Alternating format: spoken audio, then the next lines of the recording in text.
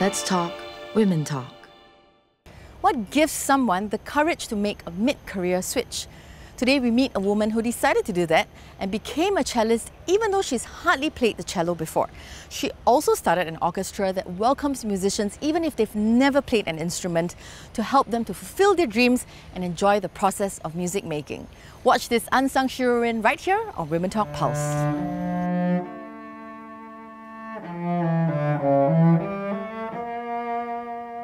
Hi, I'm Janelle Kam and I'm the founder of da ka:po Late Starters Orchestra in Singapore. My first paycheck, I went to get a cello.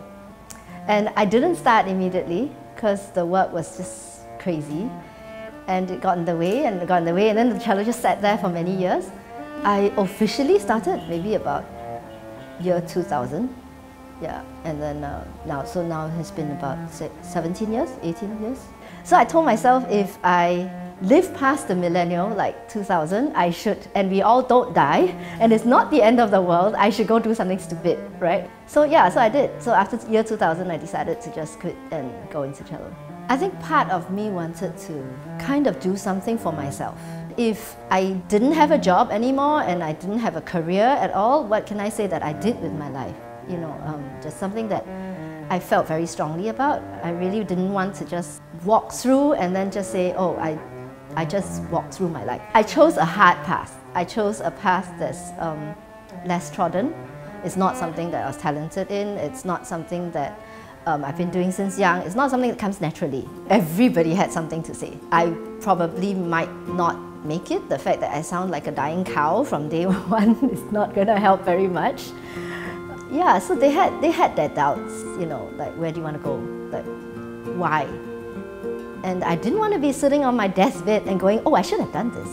You know, I should have done it when I had a chance. So I thought, I'm not going to answer the questions why. I just keep going and then see where it goes. It's a mental exercise for me. It's getting closer to what I heard at 15 every day. I think that keeps me going. And then, of course, now transferring that knowledge to my students. I see them struggle the same things that I was doing like 10 years ago. And then you realize that, oh, yeah, maybe there is a reason why I spent that long plowing at it because now I can finally explain it. I suppose it helped that I joined a community orchestra as well. There are quite a few orchestras out there, but if you're starting late and you're not there yet, there's nothing for you. And I really enjoyed my time with the community orchestra. I mean, I enjoyed playing with people, I enjoyed meeting others who were, who were also having day jobs and then just coming on a weekend just to play. We did concerts together. Uh, it wasn't very, very good concerts, but we were happy with what we were doing. And I thought I could bring that to, to people who were not allowed into traditional orchestras. I wanted an orchestra that was non-judgmental, that you could come in with zero music background and slowly learn the instrument, play whatever you can, and no one there is going to give you the evil eye. The interesting thing was that uh, it brought together a lot of people who were either interested and never got started, or they started like 20 years ago and gave it up because they had kids, because they had work, I think the first time that we got together, it was nerve-wracking. It was nerve-wracking because you had no idea where they were coming from. All different levels, everybody meeting together in the same room. Yeah, it was mad. well, there was not much music coming out of that night, I think, but there was a lot of laughter, there was a lot of fun. I call them musicians because they play from within. They play because they love music, they play because they love the instrument. Um, I've never seen musicians come for rehearsal so happy. They make a point, even if they can't come, uh, they knock off work late, they come for the last half an hour, they would.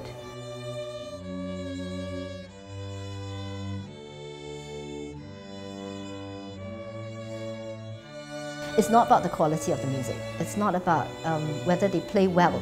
They'll make mistakes during the concert and they'll grin their way through, but after that, they laugh about it and then we move on. I, I think that's part of music making. It's instantaneous, you get the, you get the instant rewards, but you also get the instant frustrations. Um, yeah, I think that's, that's, that's this bunch, they're an incredible bunch. Many, many musicians wonder whether it's possible, whether it's even feasible in the first place to get people who don't know music to make music. It's a very alien concept, and it shouldn't be. I, I feel it shouldn't be.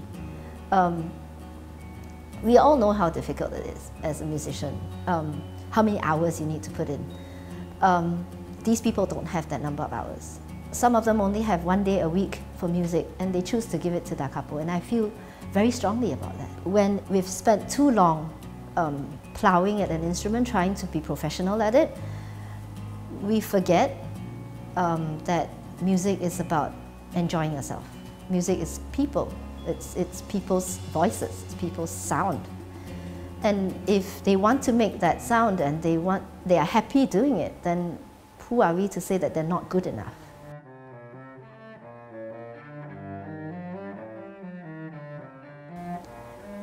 Maintaining the non-judgmental, the, the safe environment, that's really difficult. Overcoming the, the psychological uh, barriers of adults and trying to slowly get them out of their comfort zone, getting them used to feeling lost, um, that it's okay to be lost. I feel many people in cities will need the existence of da ka:po because it's easy to get lost.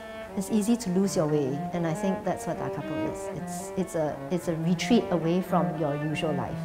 If, if there's any time to start, you start enjoying making music now.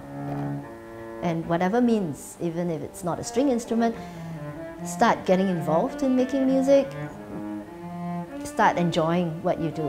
I think for me, empowerment would be the ability to choose something that you want to do with your life, something that you find meaningful and not knowing where you're going to go, but you start it. I think that's empowerment.